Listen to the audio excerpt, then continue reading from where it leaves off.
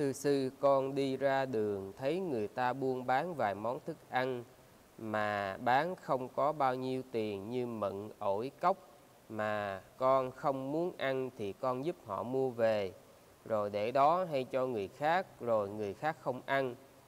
Vậy con có bị tội không? Nếu bị thì làm cách nào mua về không bị tội? Trong kinh phân biệt cúng dường á, Đức Thế Tôn nói là một người á, đem đồ ăn á, mà vứt đi với suy nghĩ là rồi sẽ có con này con kia ăn thì họ cũng có phước.